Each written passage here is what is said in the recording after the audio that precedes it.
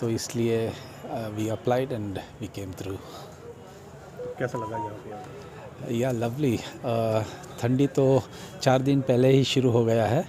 हम लोग even our bones are rattling ये एक नया एक्सपीरियंस होगा हमारे लिए। या सर क्या सुना था इस इलाके के बारे में? और यहाँ पर आपको क्या देखने को मिला? आ, सुना था कि यहाँ दो चीज़ दो तरह के क्लाइमेट होता है एक ठंड और एक बहुत ठंड। ये पता नहीं ये क्या है लेकिन हमारे लिए बहुत ठंडी है क्योंकि बेंगलोर में हम फ़िलहाल हमारा हमारा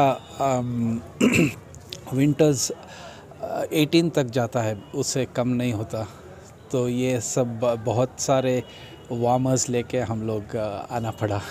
यहाँ की खूबसूरती देखने के बाद आप क्या मैसेज देना हिमालय तो हिमालय है उसकी उसकी जितना भी तारीफ़ करो आ, मेरे आँख से आँसू आते हैं क्योंकि इतना इमोशनल माउंटेंस है।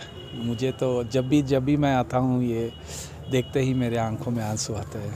तो सर इससे पहले आपने जम्मू कश्मीर के बारे में यहाँ पे क्या सुना था और यहाँ आके आपको कैसा लगा? आ, हमेशा अच्छे ही सोचते हैं। जब भी जम्मू कश्मीर बोलते हैं तो एप्पल होता है और ये ये ये जो एप्पल के जैसे लाल लाल लोग यहाँ बहुत ही अच्छे हैं बहुत ही हेल्पफुल रहा हम लोग जब जम्मू में ठहरे थे। हम डॉक्टर सुनील कादियान है। मैं एम यूनिवर्सिटी विश्वविद्यालय नोएडा में सहायक प्रोफेसर हूँ। मैं पहली बार पुंज आया हूँ और पहले तो तय दिल से शुक्रिया अदा करना चाहूँगा इंडियन आर्मी का और यहाँ पे आयोजकों का। इतना बढ़िया इन लोगों ने अरेंजमेंट किया हुआ है। दूसरा जब यहाँ पे आए तो बहुत ज़्यादा एक्साइटमेंट था कि पहली बार जा रहे हैं और हमारा पहले दिन से ही था कि हम लोगों को जाना है।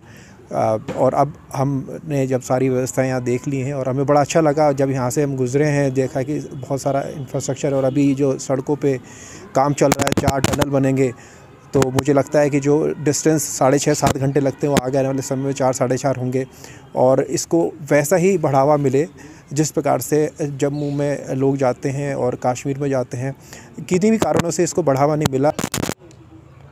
एक बड़ा ही अच्छा दिन है पुंछ के लिए मैं ख़ास कर कहूँ कि पहली बार पुंछ के अंदर एक टूरिज़्म को प्रमोट करने के लिए इंडियन आर्मी की इनिशिएटिव ले रही है और फ़र्स्ट टाइम एक विंटर फेस्टिवल जो फ्रोज़न फिस्टा करके नाम से पुंछ के अंदर ऑर्गेनाइज करवाया जा रहा है और इसमें ये जो आज के टूरिस्ट जहाँ पहुँचे हैं, तकरीबन दस स्टेटों से ये लोग आए हैं। और ये सारा श्रेय जो है, इंडियन आर्मी को जाता है। क्योंकि हमारा यही कोशिश, यही है कि पुंछ के अंदर अगर हम डेवलपमेंट चाहते हैं तो वो एक ही सिर्फ़ टूरिज़्म सेक्टर के तहत हो सकती है। रिलीजियस टूरिज़्म का भी बहुत बड़ा स्कोप है। और बाकी भी हमारा जो पुंछ इतना खूबसूरत है कि टूरिज़्म अगर यहाँ प्रमोट होता है टूरिज़्म इंडस्ट्री यहाँ डेवलप होती है, उसमें पुंछ ऑटोमेटिकली डेवलप होगा। और एक ये इनिशिएटिव है। पहली बार देश के, देखिए यहाँ लोग आज कर्नाटक से, मुंबई से, दिल्ली से, हरियाणा यूपी उत्तराखंड और भी स्टेटों से लोग यहाँ पहुँचे हैं। हमारा यही इनिशिएटिव किसी तरह से यहाँ लोग आएँ और पुंछ के अंदर देखें। ये पुंछ एक बहुत खूबसूरत एरिया है और जाके लोगों को बाहर बताएँ ताकि यहाँ टूरिस्ट जो हो, आ सके। और यही हमारा ये इनिशिएटिव रहे, है इसका। फ्रोज़न फेस्टा करके जो फेस्टिवल है, इसका यही इनिशिएटिव है।